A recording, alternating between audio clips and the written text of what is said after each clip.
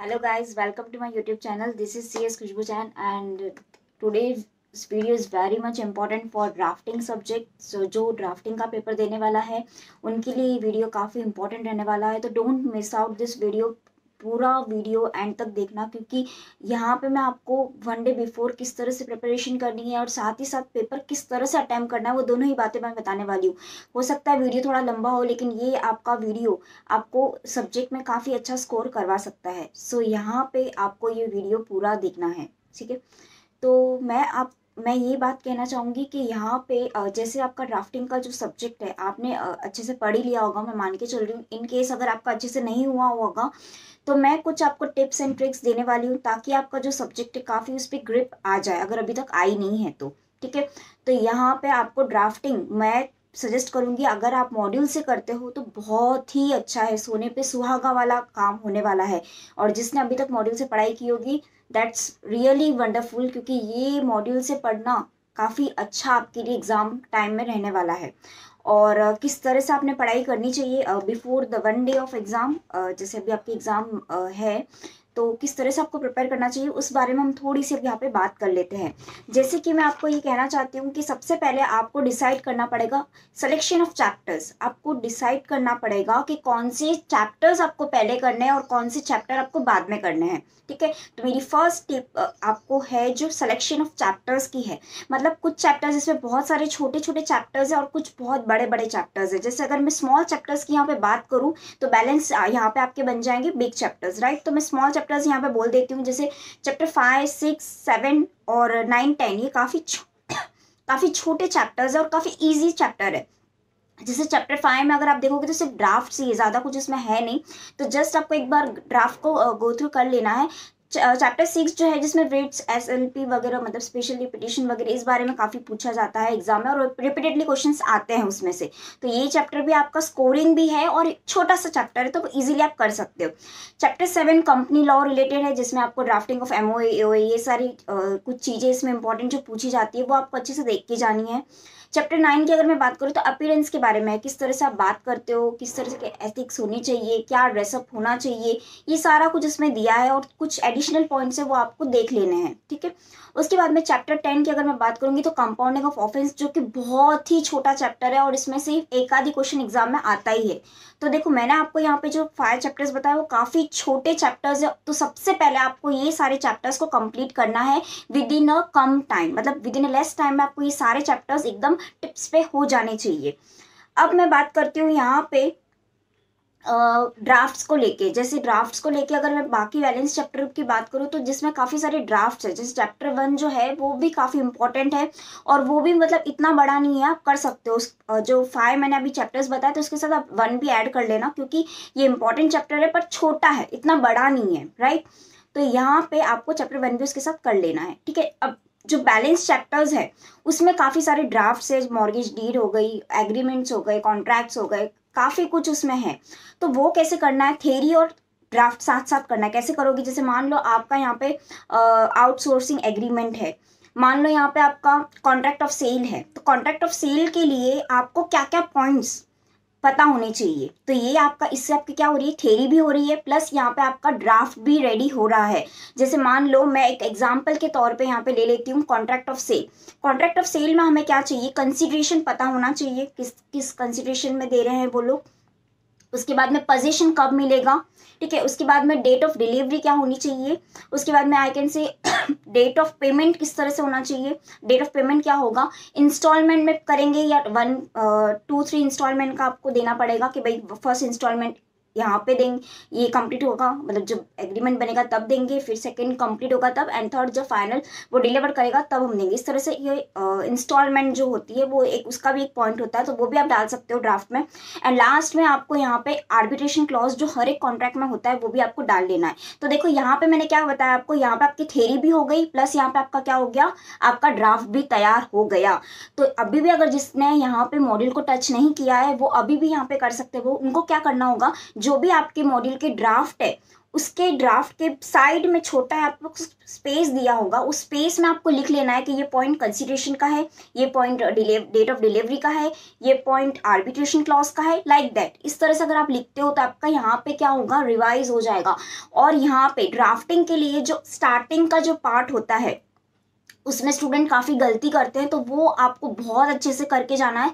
Starting और ending एकदम proper होनी चाहिए। मतलब यहाँ पे स्टार्टिंग में आप mister X Y X mister X versus mister B इस तरह से अगर आप करते हो, या mister X versus mister Y अगर आप करते हो तो उसका पूरा आपको लिखना पड़ेगा mister X age occupation residence of ये तरह के और फिर वो क्या है? एप्लीकेंट है, क्या है? रिस्पॉन्डेंट है, वो सब आपको लिखना है, ठीक है? तो ये आपका एकदम एप्लीकेशन जब आप बनाते हो तो प्रॉपर होना चाहिए। और हाँ जब भी आप ड्राफ्ट लिखते हो, जब भी आप कोई तरह का ड्राफ्ट बनाते हो, चाहे एग्रीमेंट हो तो यहाँ पे आपको ब्लॉक लेटर्स में लिखना पड़ेगा कि एग्रीमेंट का क्या टाइटल है। ये अगर यहाँ पे आप मिस आउट करते हो तो आपके मार्क्स डेफिनेटली यहाँ पे कटने वाले हैं। तो ड्राफ्टिंग के लिए आपका जो प्रेजेंट प्रेजेंटेशन है वो ज़्यादा मैटर करेगा rather than content content matter करेगा बट आपका जो स्टार्टिंग और एंडिंग जो होगा वो आपके लिए काफ़ी ज़्यादा मायने रखता है। तो आपको वो बिल्कुल भी मिस नहीं करना है। और जो स्टूडेंट सोचते हैं सॉरी जो स्टूडेंट सोचते हैं कि मैं दो पेन यूज़ करके मैं मार्क्स लेके आ जाऊँगा तो ये आपकी जो आ, आपकी जो थिंकिंग है ये बिल्कुल गलत है क्योंकि यहाँ पे एक पेन से लिखने से ही आपको मार्क्स मिलेंगे। दो पेन बिल्कुल अलाउड नहीं है। या तो आप कंप्लीटली ब्लैक यूज़ करो, या फिर आप कंप्लीटली ब्लू यूज़ करो। और आपको अगर कोई पॉइंट को हाईलाइट करना है, जैसे मैं यहाँ पे ड्राफ्ट में अगर मैं बोलूँगी, जैसे कंसिडरेशन वगैरह, ऐसे कुछ पॉइंट्स आते हैं तो you have to underline that word consideration means key words को आपको अंडरलाइन करना है और अपने ड्राफ्ट को अट्रैक्टिव बनाना है। अब उसको अट्रैक्टिव मतलब यहाँ पे फूल पत्ती नहीं करनी है। प्रॉपरली आपको क्या करनी पड़ेगी? मार्जिन एंड ऑल ड्रॉ करनी पड़ेगी ताकि आपका जो जो भी आपका ड्राफ्ट है वो काफ़ी अच्छा लगे प्रेजेंटेबल लगे ताकि आपको सामने वाला अच्छे से अच्छे मार्क्स दे पाए। ठीक है? तो ये मैंने आपको जस्ट बताया और देखो अब आपके पास टाइम बहुत कम है तो आपको क्या करना है? कुछ कुछ मैं आपको एक एग्जांपल देती हूँ। जैसे एग्ज़ाम पूछा जाता है नोटिस के बारे में। सेक्शन uh, एटी के बारे में काफ़ी बार पूछा जाता है तो सेक्शन एटी ऑफ़ सीपीसी का एक आपको अच्छे से करके जाना है। उसके बाद में आपको डीट देख लेनी है। एक दो डीड्स अगर आप देखते हो तो सेम फॉर्मेट है सबका, खाली उसका जो कंटेन या टाइटल है वो अलग हो जाता है। उसके बाद में एप्लीकेशन आपको देख लेनी है जैसे एप्लीकेशन सीआरपीसी में हो सकती है, फिर बेल की एप्लीकेशन हो सकती है सीआरपीसी में 125 जो मेंटेनेंस ऑफ़ वाइफ की है वो अच्छे से आपको देखने की काफ़ी बार पूछी गई है वो। जैसे मैं कंप्लेन की बात करती हूँ तो कंप्लेन का आपको थेरी देख लेना है, उसके बाद में बेल एप्लीकेशन आपको देख लेनी है तो कुछ ऐसी बहुत, जैसे स्पेसिफिक रिलीफ एक्ट की कोई यहाँ पे आपका सूट होगा, वो आपको अच्छे से देख लेना है। तो इस तरह से आपको कुछ इंपॉर्टेंट चीज़ें देख लेनी है पावर ऑफ़ अटॉर्नी आपको देखनी है, क्योंकि उसकी वर्डिंग्स काफ़ी अलग है। तो वो थोड़ा हमको लिखने में प्रॉब्लम होता है तो आपको ये सारे क्या कर लेने ड्राफ्ट्स देख लेने हैं। ठीक है कॉन्ट्रैक्ट आप कोई भी एक देखो, सारे कंटेंट सेम ही है। मतलब जस्ट उसका एक वो फॉर्मेट की वजह से थोड़ा चेंज मतलब फॉर्मेट तो सेम ही है, पर उसके सिर्फ़ कंटेंट चेंज होंगे। जैसे बिल्डिंग कॉन्ट्रैक्ट हो गया तो उस हिसाब से आपको कंटेंट बनाना पड़ेगा, ठीक है? लेकिन पॉइंट्स तो सेम ही होंगे ना कंसिडरेशन वगैरह, ये चेंज नहीं होने वाले तो ये आपको थोड़ा सा देख लेना है, ठीक है? उसके बाद में और भी कुछ छोटा मोटा बचता है तो वो आपको देखना है। एल एल पी एग्रीमेंट आपको अच्छे से देख लेना है। वो भी काफ़ी बार एग्ज़ाम में पूछा जाता है। मतलब पूरा एग्रीमेंट नहीं पूछेंगे बट उसके कुछ ऐसे पॉइंट्स पूछ सकते हैं, जैसे एडमिशन ऑफ़ पार्टनर उसके बाद में और भी इसके रिलेटेड कुछ भी maintenance of books of accounts वगैरह, इस तरह से वो कुछ भी पूछ सकते हैं। ठीक है? अब मैं यहाँ पे बात करती हूँ, एक थर्ड मेरी जो इम्पोर्टेंट यहाँ पे टिप है वो ये है कि आपको लास्ट फाइव इयर्स के क्वेश्चन पेपर देख के जाना है, क्योंकि बहुत सारे ऐसे स्टूडेंट्स हैं जो पेपर बिल्कुल देख के नहीं जाते और फिर रिपीटेड क्वेश्चंस पूछने के बाद भी उनका पेपर अच्छा नहीं जाता है। तो डोंट डू दैट मिस्टेक आपको रिपीटेडली जो क्वेश्चन एग्ज़ाम में आए हैं लास्ट फाइव अटैम्प्ट के, वो सारे पेपर्स आपको देख के जाने हैं। डोंट मिस दैट ठीक है? उसके बाद में यहाँ पे आपके ड्राफ्टिंग में दो तरह से क्वेश्चन पूछे जा सकते हैं। या तो आपको डायरेक्ट बोलेंगे ड्राफ्ट करो और अज्यूम योर डेटा ठीक है? और या फिर आपको कुछ केस स्टडी फॉर्म दी जाएगी, उसमें आपको उनके कंटेंट के हिसाब से आपको ड्राफ्टिंग करना है। तो दोनों ही क्वेश्चन आपको अपने आप से प्रिपेयर करना है और वहाँ पे आपका सेंस ऑफ़ ह्यूमर चलना चाहिए। आपका दिमाग वहाँ पे काम करना चाहिए कि किस तरह से ड्राफ्टिंग हम लोग कर सकते हैं राइट उसके बाद में मैं एक आपको जो कमेंट क्वेश्चन आते हैं फॉर क्वेश्चन नंबर वन जो हमारे एग्ज़ाम में रहता है उस क्वेश्चन में क्या होता है कि normally they are asking the comment question from the module itself वो जो केस लॉज होते हैं जैसे आप देखोगे बहुत सारे ऐसे फ़ेमस केस लॉज जो आपके मॉड्यूल में दिए गए हैं काल वर्सेस डीआईवाई डायरेक्टर वगैरह ऐसे कुछ केस लॉज है तो वो वाले टॉपिक आपको बहुत अच्छे से करके जाना है, क्योंकि कमेंट के क्वेश्चन में हम कहीं ना कहीं फंस जाते हैं। तो जो केस लॉ वाले, जो जिसमें इंपॉर्टेंट केस लॉज है, जैसे वी जी रांगा वर्सेज ये वाला आप अगर देखोगे and agreement share holder agreement का जो ये क्वेश्चन है, उसमें ये इंपॉर्टेंट केस लॉ है। तो इस तरह के केस लॉज वाले जो है, वो आपको बहुत अच्छे से देख के जाने हैं, ठीक है? आई नो ये वीडियो थोड़ा लंबा हो रहा है बट मैं नहीं चाहती हूँ कि आप कुछ भी इसमें मिस करो। ड्राफ्टिंग अगर आप कर रहे हो तो आपको सिक्सटी प्लस आने ही चाहिए ठीक है? क्योंकि मुझे पता है काफ़ी सारे स्टूडेंट्स का टेक्स्ट का पेपर बिल्कुल अच्छा नहीं गया है। तो ड्राफ्टिंग में अगर एग्जामिशन लाते हो तो ओपन बुक और ये दोनों बैलेंस हो जाएगा राइट तो इसके लिए मैं थोड़ा सा लंबा वीडियो कर रही हूँ तो प्लीज़ वीडियो पूरा देख लेना और लाइक ज़रूर करना। सो uh, so, अब मैं बात कर लेती हूँ हाउ टू अटैम्प पेपर मैं ज़्यादा बड़ा वीडियो नहीं बनाना चाहती हूँ इसलिए मैं स्टार्ट कर रही हूँ हाउ टू अटैम्प पेपर ठीक है, अब अटैम्प कैसे आपको करना है।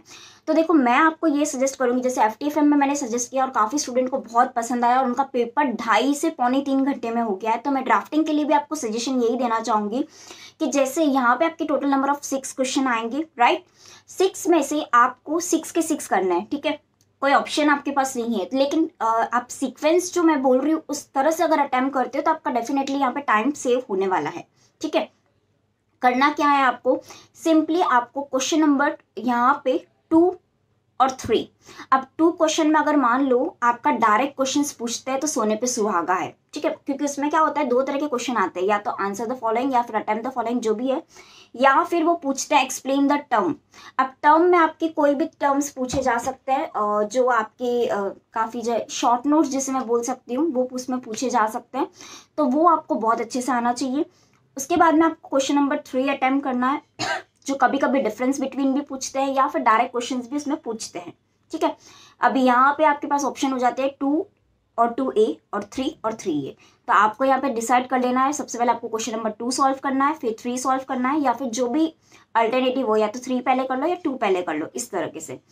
उसके बाद आपको यहाँ पे chap question number one comment का जो क्वेश्चन है या डायरेक्ट क्वेश्चन अगर पूछा है तो फिर वन टू थ्री भी सीरियल वाइज सब कर सकते हो।